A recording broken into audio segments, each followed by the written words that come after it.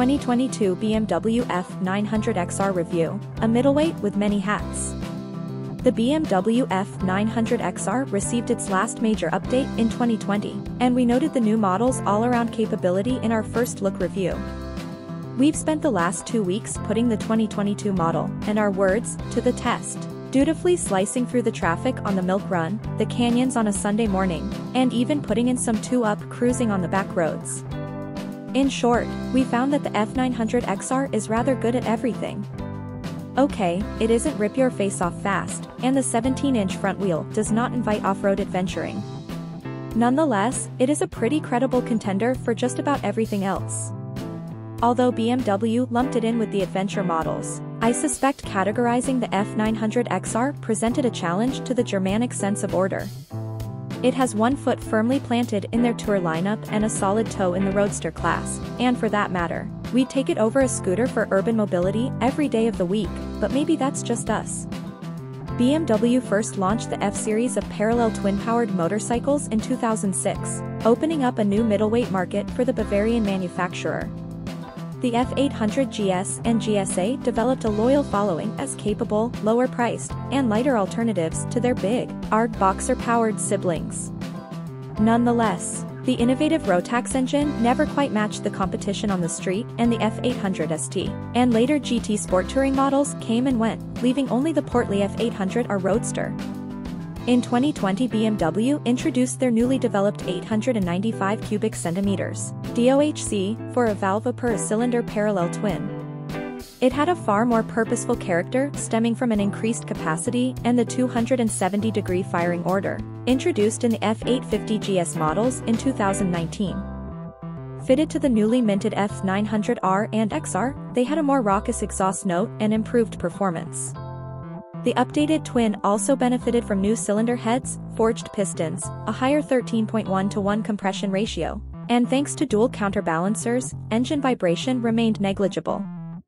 BMW claims the 2022 F900XR puts out a solid 99 horsepower, with a healthy torque curve, maxing out at 68 lb-ft at 6,750 rpm. A versatile middleweight with character. Much like its larger cousin, the S1000XR we recently reviewed, the F900XR exudes versatility and offers a healthy suite of standard and optional electronics, but delivers them in a more accessible package. The base model has an MSRP of only $11,695. The power band is less apt to punish over-exuberant inputs, and the available saddle configurations take the seat height from an imposing 34.5 inches to just 31. The F900XR uses a steel bridge frame, making the engine a stressed member of the chassis. A bolt-on subframe helps to bring the maximum payload up to 483 pounds. An aluminum double-sided swing arm and massive 43.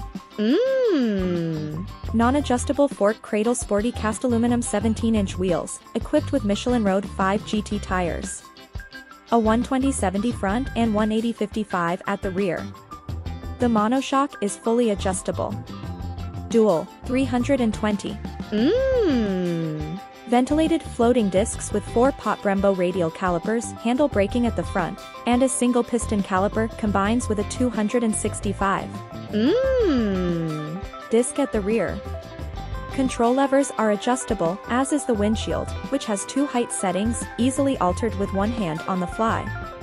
What distinguishes the BMW F900XR from its sister model, the F900R? Not a lot on paper. Both models share the same engine, chassis, and equipment.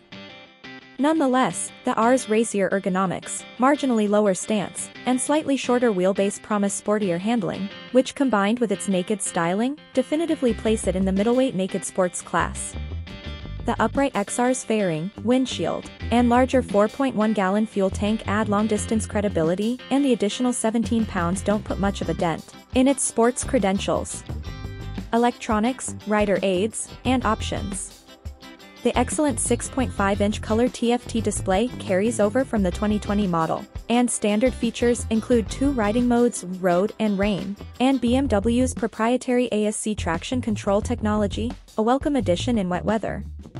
ABS and BMW's dynamic brake control, DBC, and engine brake control EBC also come standard, improving stability when emergencies or poor judgment threaten to unsettle the bike.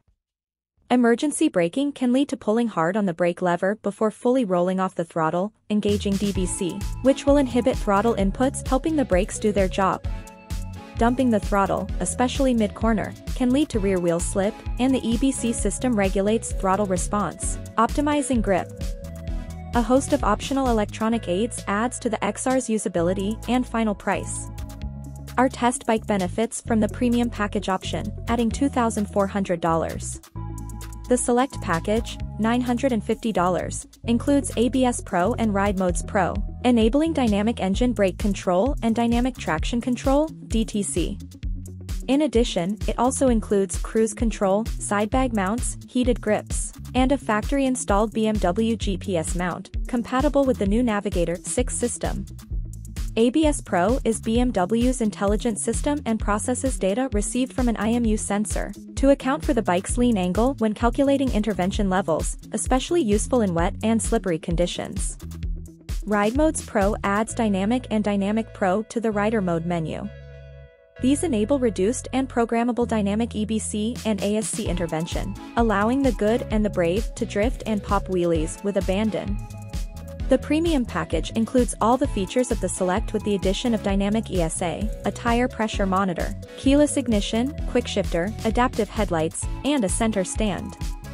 The two standout elements are the adaptive headlights, additional LEDs that employ IMU lean angle data to activate, illuminating the road ahead through the turns, and dynamic ESA, which actively controls the monoshock, adjusting spring, and damping to suit conditions and road surface. It also works in tandem with the chosen rider mode to reflect riding style and road conditions, and enables the selection of preset options from the handlebar, adjusting preload for luggage and or a passenger. Sport bike styling on stilts. At first glance, the F900XR seems a tad lofty for that 17-inch front wheel, and if loud and proud is your MO, its understated styling may not be to your taste, but it won over our affections and is one of BMW Motorrad's more appealing designs. The XR's windshield is reasonably effective, especially in the elevated position, and yet, retains its sporty character. The fairing adds adequate protection without making the bike appear bulky. The high-quality finishing is typically BMW and our test machine came in triple black, a $250 option that makes it look like something a villain might ride in an action movie. BMW also offers optional color-matched hard cases with a combined volume of 63 liters and a 30-liter top case, with remote locking when integrated with keyless ignition. Alternatively, there is a selection of soft luggage and many other accessories to choose from. Riding the F900XR. Maybe as a result of stepping off the Ninja 6 we just reviewed, and straight onto the F900XR, but the handlebar feels particularly wide. Overall, the ergonomics are superb with the broad bar in easy reach, an upright stance, and a comfortable bend at the knee. The body position is ideal for distance or the daily commute. The windshield deflects a reasonable portion of the wind, and the contoured seat offers excellent comfort and support. The growling exhaust note is a far cry from the buzzy F800s, and the improved power is notable under hard acceleration through the lower gears. Although, it does lose some luster in the higher ratios. It is only when you get out on an open winding road that you can fully appreciate the F900XR's most rewarding attribute, its extraordinary agility, which confounds expectations and belies its size and weight. The handling is comparable to the Little Triumph Tiger 660 we tested. The chassis is wonderfully balanced and the suspension assured. The ride feels planted and composed, even when the road is less than perfect. With dynamic rider mode and ESA suspension selected, a firmer setup provides more feedback through the seat and has you heading into turns with increasing conviction.